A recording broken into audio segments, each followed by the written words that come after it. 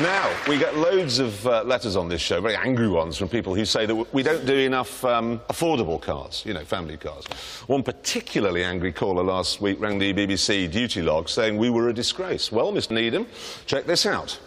That is the new Vauxhall Corsa. And uh, moving on now. um, uh, we've had a number of complaints about last week's show. People said it was cruel to blow up a cow. Um, well, I want to make it absolutely plain. Right now, no cow was hurt in the making of that film. Its death was instantaneous. Wouldn't have felt it. Immediate, wouldn't have known. Right, next. And if you want to write to the BBC and say this is some rare type of tree and has to be preserved, you can stick it up your arse. Nah. All those people who write in and say, you're only interested in expensive cars, you're damn right. The new Lamborghini Dial. This has got a V10 5 litre. I'm going to have to go to the lavatory if I have to say V10 5 litre engine again.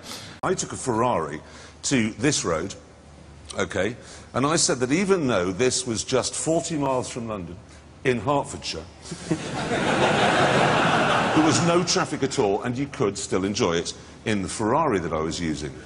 Well, we have been inundated with complaints, and I do mean inundated. No, there've been a lot. A lot, and people were absolutely furious. How dare the BBC say this is Hertfordshire?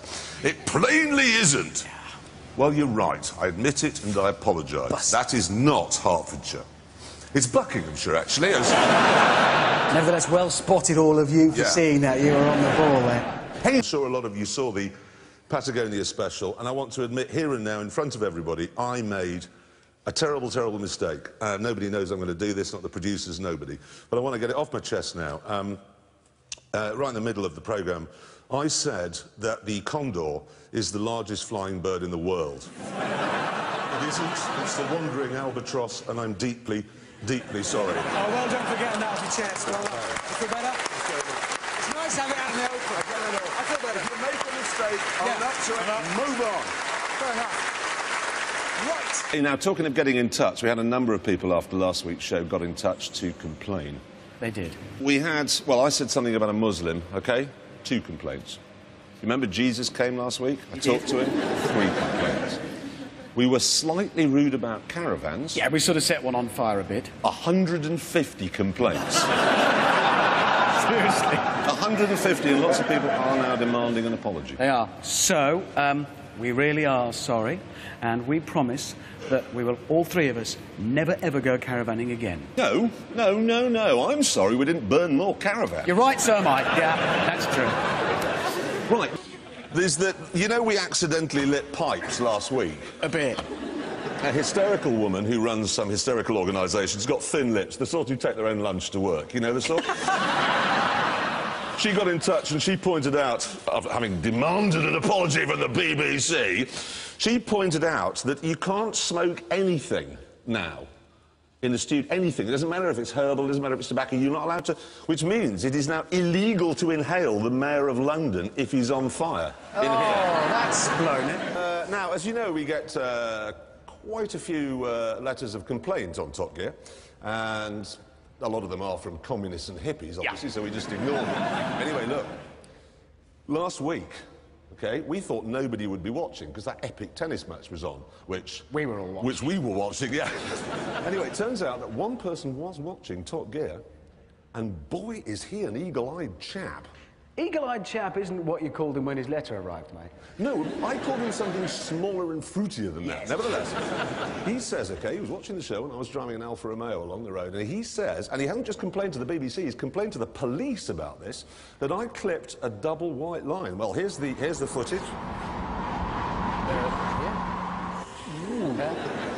I mean, it's That bloke should have been at Wimbledon, actually, with those sort of the white line spotting skills. Uh, anyway, it does appear I'm bang to rights, and, uh, you know, I think apologies uh, where apologies are necessary. I'm very sorry. Uh, I shouldn't have done it. I'm normally very uh, fastidious about that sort of thing, but uh, there we are, a mistake. Good job I'm not a brain surgeon. Um, um, what is interesting, however, is that the number of people who rang up and complained about me driving the Land Rover Discovery up a mountain is this long. That's a lot. That's how many people complained. The number of people who complained about us not wearing poppies, That's no. None at all. not one. Right. So hang on, that means nobody bothered to complain that we haven't commemorated our fallen soldiers, the people who gave us freedom to do what we want. But then they write in to complain that you've, what, run over some moss? Yeah, Or that's basically it. a weird I've world. killed moss. It's a strange world we live in, isn't it? really? Weirdest world in the world. In fact, I think I might drive up it again next week. uh, right, new. Now, the time has come, I fear. Um, lots of complaints after last week's programme. Um, internet kind of awash with hate, people demanding an apology, and I'm only too happy to give one. Um, I am very sorry that I didn't put the GT2's time on the board. um, really, I don't know what to say. We have more. Actually, I want to, uh, while we're on the subject of this, last week James did talk about touching people inappropriately, okay?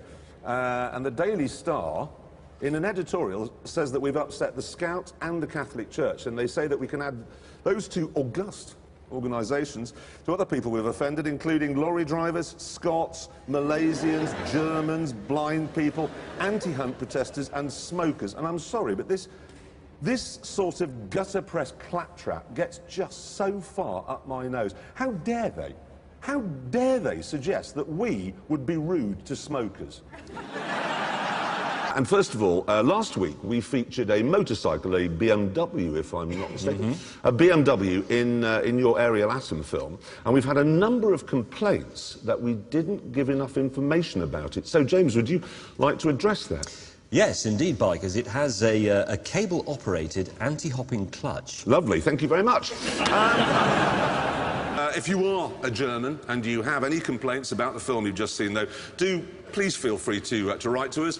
Our address is 1966, El Alamein Square, 1939 to 1945, Jutland Street, London, WE1. Again. Fine, now this has... This has enraged the Morris Marina Owners Club. The what? Morris Marina Owners Club. Ever heard of an organisation you want to be a member of less than that? what I've got here are some of the things they've been saying on the Morris Marina Owners Club website. Top Gear can eat and die. Strong.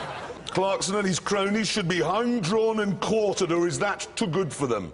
Should be two T-double-O, just small point. This just goes on and on. I, this is one of my favourites. I will send the BBC an email, and I don't care if they don't read it. Well, we did. Well, you They have. really are very, very angry, aren't they? Can I just say, we, joking aside, we don't like to upset any member of our audience, no matter how mad they might be, okay? so we undertake never to destroy another Morris Marina as long as we are on the air. And, and in fact, we've gone one better than that because just this week we have been out and we have bought another Marina, okay? And um, it's a beauty. Really is, absolutely. Low mileage, leather seat. No, there's no woo about it, leather seats. We brought it down, we've got it here. Look, this is live feed out to our track, and that is going to be preserved as an example of what. Oh, God! God!